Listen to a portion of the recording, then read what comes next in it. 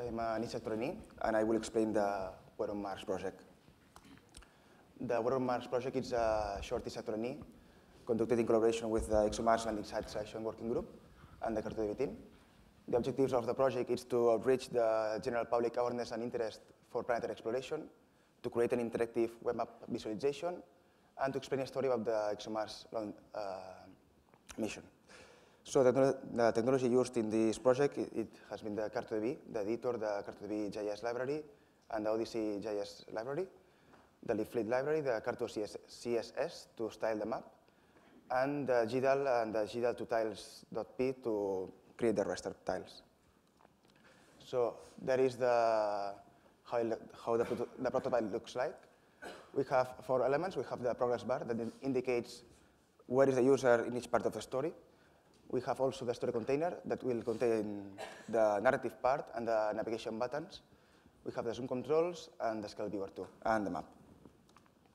So when the user moves through the story, um, depending on uh, what we're explaining, uh, some layers are added or removed. So for example, in this case, we, we are in the Mars landing sites. So the landing sites uh, layer are added, is added, and the latitude stage layer are, is added too. And the progress bar indicates uh, the progress of the story. Uh, if you keep moving through the story, uh, we arrive in, the, in this site, in the Aram site, and through the story container, we explain the, we guide the user to click the button to add the HRSC layer and to see the difference between the Mola layer and the HRSC. And also we, uh, we can, we add also the, later the landing site ellipsis layer.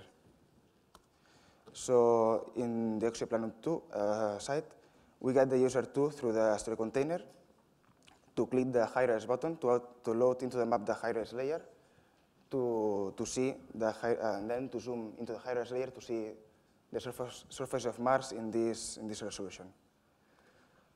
So uh, if you are interested in knowing more about uh, this project and to give some feedback, uh, we are, I'm going to be in the track B, the tool survey, and also I will be with, uh, explain the on Mars, and also I will be with Carla to explain how to use the CartoDB for planetary science in this use case. So thank you very much.